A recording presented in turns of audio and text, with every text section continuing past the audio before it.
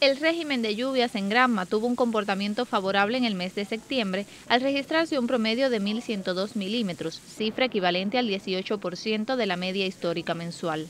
Según datos ofrecidos por la Delegación Provincial de Recursos Hidráulicos, los municipios más beneficiados fueron Pilón, Manzanillo y Jiguaní.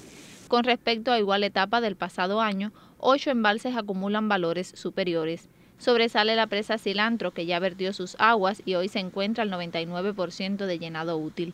Igual cifra acumulaba la presa Paso Malo. En 2016, estos embalses se encontraban al 54 y 83% de su capacidad total, respectivamente. Tal y como trascendió en conferencia de prensa, las precipitaciones ocurrieron mayormente en zonas llanas, razón por la cual algunas presas no resultaron beneficiadas por los escurrimientos. Actualmente, cinco de los 11 embalses de la provincia se encuentran por debajo del 50% de su capacidad aprovechable.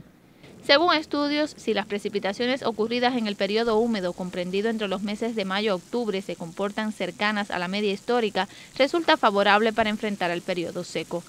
Desde Gran Madiana del Llano, Sistema Informativo de la Televisión Cubana.